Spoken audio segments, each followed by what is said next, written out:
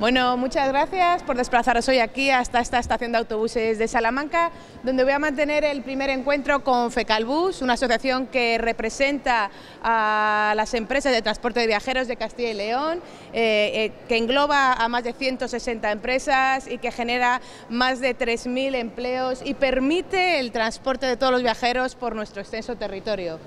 En esta primera reunión que vamos a mantener con ellos y que será la la, primera de muchas que mantendremos en los próximos cuatro años. La idea es primero atender cuáles son las inquietudes que ellos tienen ahora mismo, porque tenemos muchas cosas que tratar y que trabajar. Y por otro lado, también transmitirles el apoyo que desde la Junta de Castilla y León les vamos a ofrecer en estos próximos años. En una situación en la que nos encontramos con una guerra de Ucrania, con un alza de los precios y como todos conocéis, con esa subida del precio del gasoil y de la gasolina que les repercute directamente a ellos. Para ello, la Junta de Castilla y León, en el primer acuerdo de gobierno que tomó cuando se formó este nuevo equipo, acordó una serie de medidas y una de ellas iba directamente dirigida a ellos.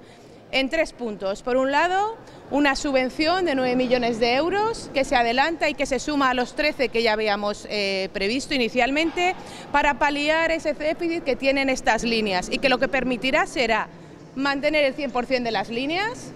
mantener el empleo que ello genera y, por supuesto, ligado a ello, mantener este tejido empresarial que todas estas eh, empresas representan. 9 millones que sumados a los 13 que ya habíamos adelantado preveyendo el déficit de este, este año que, y que junto con las últimas subvenciones que les habíamos dado en los últimos cinco años suponen más de 98 millones de euros para poder mantener el transporte de todos los viajeros en Castilla y León.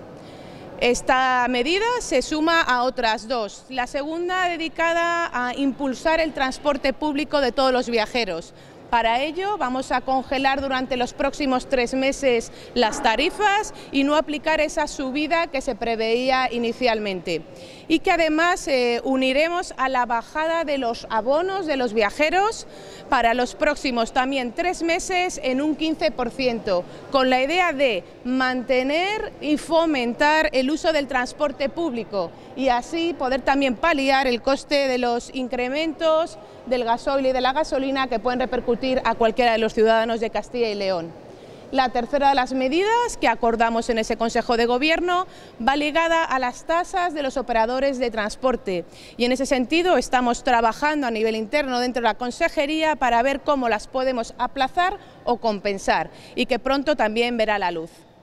En otra línea, eh, bueno, por último decir que estas tres medidas, los 9 millones iniciales de la primera línea para compensar el déficit y estas otras dos medidas suponen una inversión de más de 9,6 millones de euros ligados a este sector. Eh, otro de los temas que vamos a tratar en esta reunión que mantendremos con ellos es el mapa de ordenación del transporte, un mapa en el que estamos trabajando, que verá las próximas semanas eh, se hará público y que una vez que se haya hecho público este mapa nos pondremos a trabajar en los anteproyectos, en unos anteproyectos en los que es vital y es una norma que vamos a mantener en esta casa, sentarnos con todos los agentes implicados para escucharles y poder atender todas las demandas de todos ellos. Mantendremos tantas reuniones como sean necesarias tanto para la elaboración de los anteproyectos como para cualquier otro tema, con la máxima de siempre escuchar a los agentes, a la sociedad, a la empresa.